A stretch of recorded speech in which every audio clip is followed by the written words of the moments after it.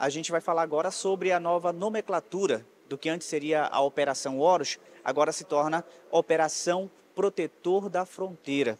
Vou conversar com o secretário José Neto, secretário de Segurança Pública do Estado do Amapá. O que muda é a nomenclatura. Exatamente, é, mudou, foi uma mudança de nomenclatura determinada pela Secretaria Nacional de Segurança Pública. Então a Operação Horus passa a se denominar agora Operação Protetor da Fronteira, mas tem a mesma abrangência. Então ela vai cobrir e reforçar o policiamento, principalmente o policiamento ostensivo e preventivo nos municípios de fronteira, então Oiapoque, Calçoene, Laranjal do Jari e Pedra Branca. E também, como ocorre a partir de agosto, sendo contemplado também o município de Santana. O nome muda, mas o trabalho continua. Inclusive, um trabalho que teve muitos resultados é, anteriormente ainda com o nome Horus. Exatamente, é uma operação de sucesso, né? foi muito reforçada no último ano. Então nós passamos aí na gestão passada de em torno de 250 diárias para mil diárias empregadas dos nossos policiais.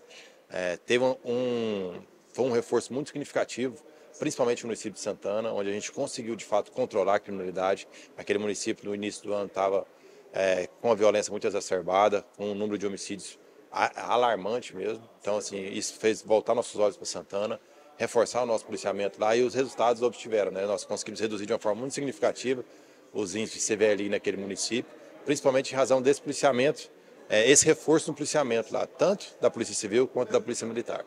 Secretário, a gente sabe também que houve basicamente uma, uma conjunção de operações, foi a Operação Paz com a Operação Horus. É, o que, que acontece? Já há uma perspectiva para o ano 2024, para operações também é, nessa sintonia, né, nessa sincronia com o governo federal, dentro do estado do Amapá? É, nós temos aí a previsão de que a Operação Horus é, de que a Operação Paz retorne a partir do mês de fevereiro e a Operação Protetor de Fronteiras está sendo deflagrada hoje. Então, hoje, o policiamento de Santana já está recebendo um reforço de uma forma muito significativa. A gente quase que dobra o policiamento lá, preventivo e ostensivo.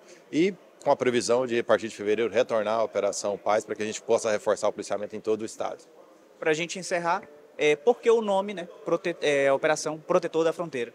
Porque assim como a Operação Olhos é uma, é uma operação que visa principalmente reforçar o policiamento nas nossas fronteiras, ou seja, proteger as nossas fronteiras para evitar que armas e drogas ilícitas ingressem em nosso território. Então, é uma operação extremamente importante de âmbito nacional que visa não só as, as fronteiras propriamente ditas com outros estados, mas também tem o cunho de proteger as divisas dos estados, por onde ingressam armas, por onde passam drogas ilícitas. Bem, muito obrigado. É isso. Eu volto com você no estúdio.